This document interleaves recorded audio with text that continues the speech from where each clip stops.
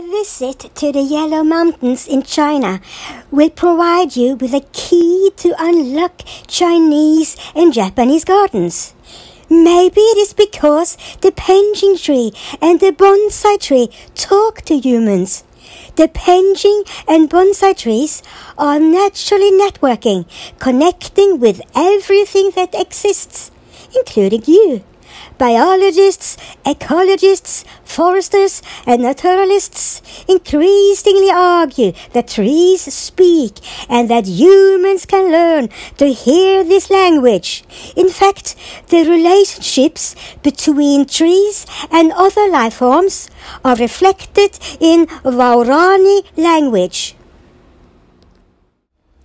Watering, feeding, air, and sunlight are very important to bonsai care.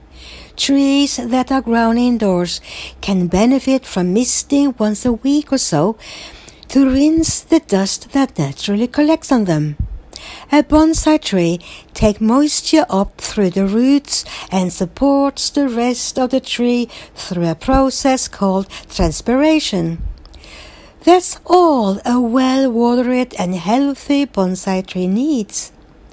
As bonsai trees are planted in small pots, there are a few basic guidelines for watering, fertilization, and choosing the right location for your tree. I will talk more about that in the next video.